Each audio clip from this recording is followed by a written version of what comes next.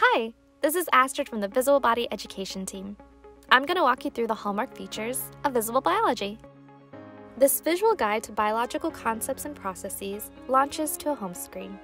See the section of the home screen labeled Units? It includes a group of interactive visual assets for each topic listed. Here's the genetics topic. Each tile has a title and shows an image of the 3D model, animation, or interactive simulation included for this topic. These assets help instructors teach and students learn. For example, instructors told us that it is a challenge to communicate to students how densely packed DNA is inside chromosomes. This 3D interactive model helps to communicate that idea by having four distinct levels of information.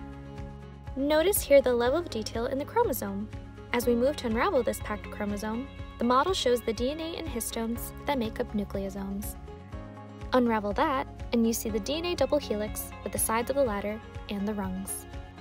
Students can get an even better idea of how DNA is stored in chromosomes with our series of interactive 3D simulations that show coiling and supercoiling. They can also watch genetic material duplicate and observe cell division with our mitosis and meiosis simulations. Each unit includes big picture models, like this one, that walks through the process of photosynthesis. If the course covers the topic more in depth, additional models include that information. This model gives a detailed look at a leaf cross-section and the structures in the leaf where photosynthesis is carried out. This simulation shows the steps of photosynthesis at a molecular level.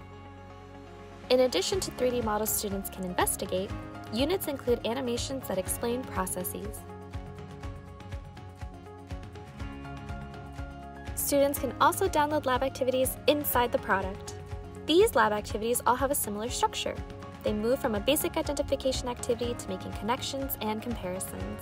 The lab activity content was developed for a first course in biology.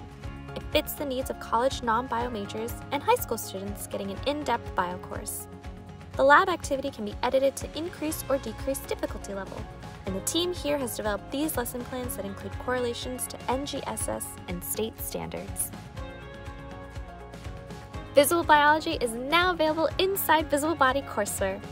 This platform makes it possible for instructors to deliver specific homework and lab assignments to students, link these to the biology textbook used in the course, and select or create quizzes with student results reporting to a gradebook.